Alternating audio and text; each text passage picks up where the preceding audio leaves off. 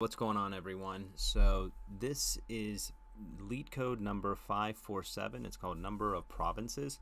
And this is a pretty tricky problem, um, but but with careful examination, um, it's actually not too bad. It's it's not as bad as it initially seems, but we'll, we'll work through it.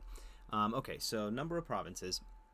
Let's take a look at the prompt here. And, you know, this is a question that is also very popular. It's making the rounds you can see in the last six months it was at Amazon, Goldman Sachs, Dropbox, Two Sigma. So it's a good one to know, and it follows a, a pretty pretty common pattern. So um, it's good to be familiar with this. Okay, so there are n cities. Some of them are connected, while some of them are not. If city A is connected directly with city B, and city B is connected directly with city C, then city A is connected indirectly with city C. A province is a group of directly or indirectly connected cities and no other cities outside of the group.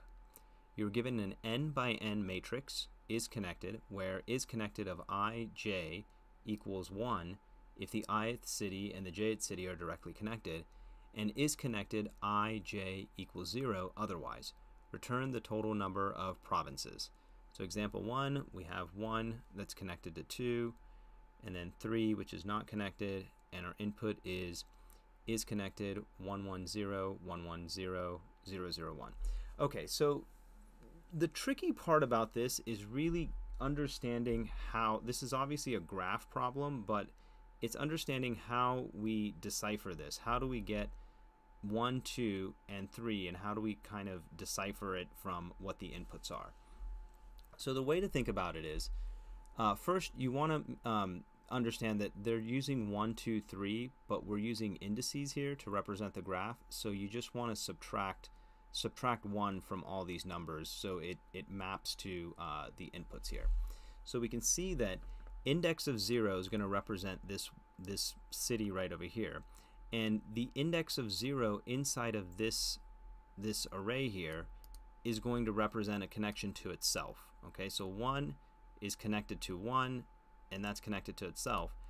Index 1 is going to represent city number 2 here, and that is connected. So we're in the zeroth index, which is mapping to this node right over here, and it's saying that the first element there, or the first index, is there's a connection there, and that is mapping to this right over here, okay? And on the third one, uh, there's no connection, so there's a zero. And again, over here, we can see that we're in 0, 1. We're in the first index of this uh, array. And in, in that when we map that number 1 to the number 1 inside of this array, it's always going to be a 1 because any city is always going to be connected to itself. But it's also connected to the zeroth city, which is this city right over here, but it's not connected to city number 3, which is represented right over here. Okay, and again over here we're um, it's 0, 1, 2. So the third or the second index is going to be connected to itself, but not to the first two cities. And you may need to stare at it a little bit for it to make sense. It took me a second to really kind of make that connection, um, but once you do, it's it's it's quite clear. And again, we can see here, you can notice that the zeroth index mapping to the zeroth index here will be a 1 the zeroth, the first index mapping to the first index of the inner array is 1, and the second index mapping to the second index of the inner array is 1. But again, there's no connections because these are zeros here. Okay, so we can see that um, the output is 3 because there's no connections. Okay, so this is this is very similar to uh, number of regions and other LeetCode problems. And once you kind of have the pattern for that, you can just really make some minor changes of how do we represent this into an adjacency list. Number of regions gives you the edges, and you have to convert that into an adjacency list. Uh, and the same thing here, we just need to convert this input into an adjacency list, and then we can just run a very, uh, like almost a template um, for any type of graph problem that's asking for regions. Okay, so let's get into it. So first thing what we want to do um, with any of these graph problems is is we can use depth first search or breadth first search. Uh, we'll just do depth first search for this, um, just it's, it's a little bit cleaner. But we go ahead and create uh, our visited array. It's actually an object. Okay. And then what we want to do is we want to go ahead and build out our adjacency list. Okay, and we'll have a helper function do this. List, and this will be is connected. Okay, and then we have our provinces and we'll set that to zero. And then we're just going to traverse traverse the graph. Okay, so we'll do for let vertex equals zero. Vertex is less than length vertex plus plus. Okay, and then what we want to do is uh, we want to check have we have we visited this particular uh, node vertex. So if we have not if we have not visited this, again this is visited, then we don't do anything. Um, but if we, if we have not visited, then that means that we are in a province. So we increment provinces. And then we just do a depth first search. Okay, and we'll just toss in the vertex.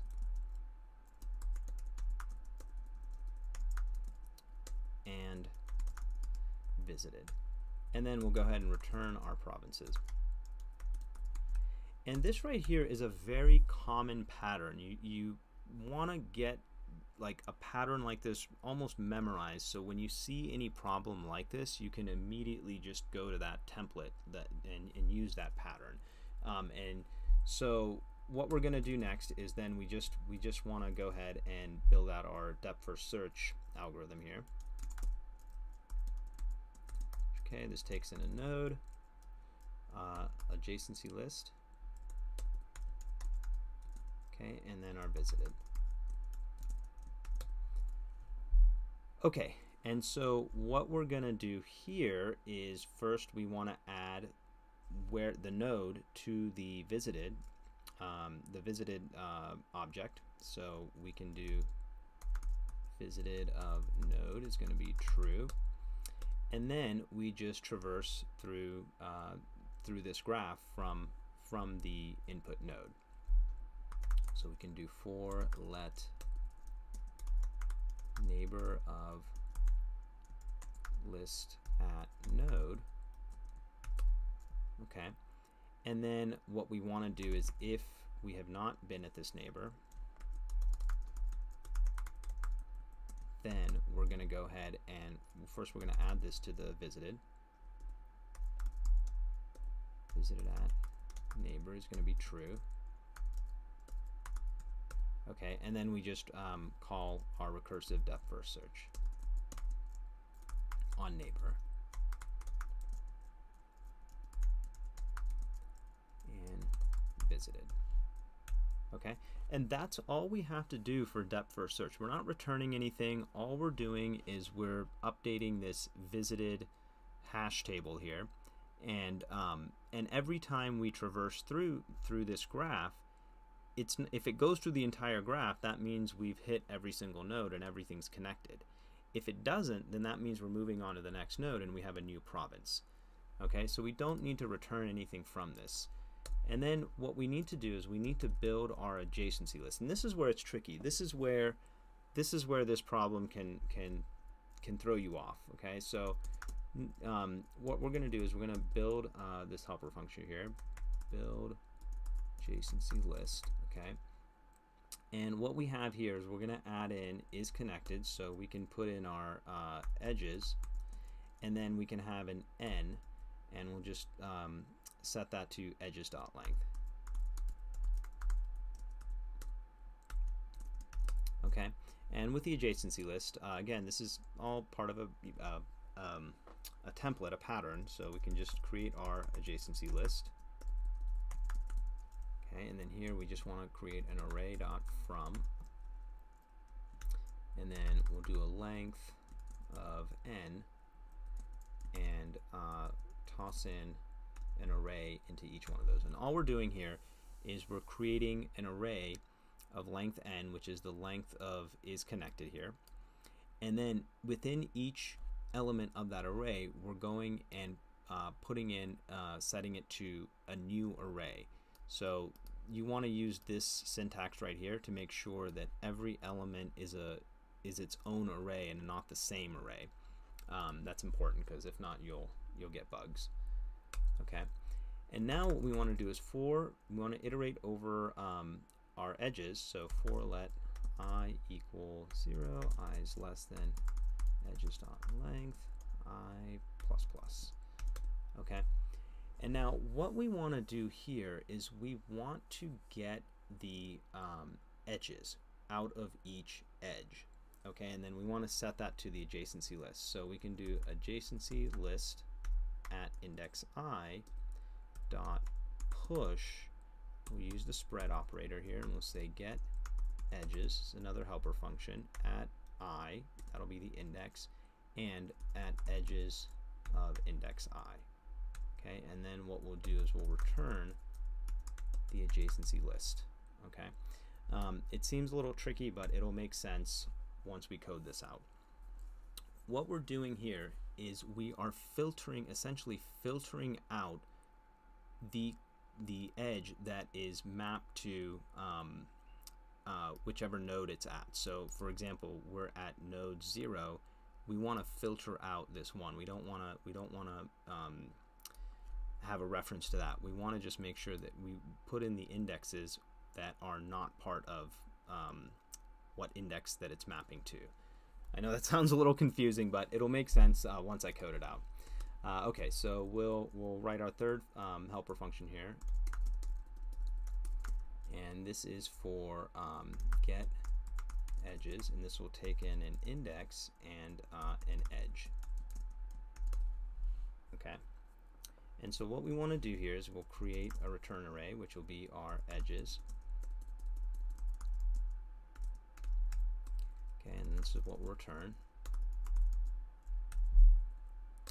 Okay, and now what we want to do is we want to iterate over these edges. Okay, so we want to do for let uh, i equals 0, i is less than edge dot length, i plus plus.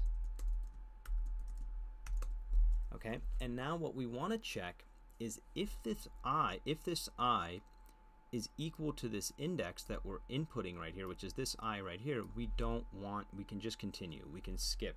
We don't want um, that value. So we can say if idx equals i, continue. Okay. The other thing is, is we want to check if edge at index i is equal to 0, we can also continue okay? Because again we don't this is not a connection here. So if it's zero then we can skip that. And then the last thing is and this is a little bit um, with the edges here we want to push in i. Because remember we're mapping the index of this. That's the actual value that we want. We want the index of this inner array right? So for here we want the index 1 the value here is 1 but that's just representing a connection the, the, val the value that we're actually interested in is the index of this of this inner array. Okay, so we push that i into edges, that tosses back our edges, maps to the adjacency list, and and that is it.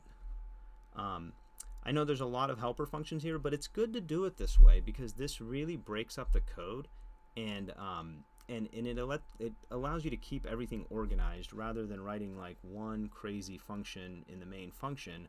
It can get a little um, can get a, a, a, bit you can get a bit of a spaghetti uh, when you do that. So let's go ahead and run this. Okay let's see here. What is the issue? Build adjacency list. Uh, const reference error build adjacencies list on sign b-u-i-l-d okay got a typo there C B U I L D B U I L D adjacency list. Okay. And there we go. And it's got pretty good runtime. Uh, it's pretty fast and um, uh, the space complexity is, is not bad either. So that is number of provinces.